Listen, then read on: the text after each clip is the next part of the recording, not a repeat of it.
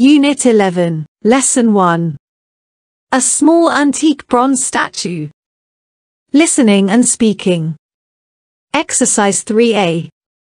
Track 17. Listen to two students talking about antiques. I would like to talk about five small ancient Pyu bronze figures displayed at the Sri Ksetra Museum. The museum is located in the Sri Ksetra World Heritage Site, Pyay Township. Let me introduce the figures from left to right, as described in the photo. The first small figure is a fascinating bronze flautist statue. The second one is a well-crafted bronze drummer statue. The third one is a cute funny small bronze statue. It's a clown carrying a bag on its back.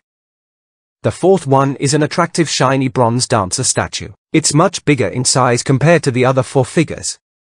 The last one is a stunning slim bronze cymbalist statue. All these statues were discovered inside a small ancient Pyu bronze bell which is beautifully molded. The bell was found at a site near the Payama Pagoda in 1967. Let me end my talk here. Thank you for your attention. Today I'm going to talk about some bronze statues displayed at the Mohamrat Muni temple.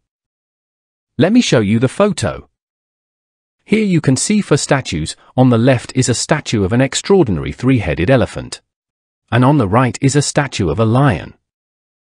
There are also two broken pieces of a lion statue, which you can't see in the photo. In the middle, you can see the two statues of warriors. They are human statues unlike the other two. All of them are displayed at the northern part of the compound. It is believed that the statues have healing powers. Whether you believe it or not, go and try to rub the part of a statue to relieve your suffering or pain. This is the end of my presentation. Thank you for your attention.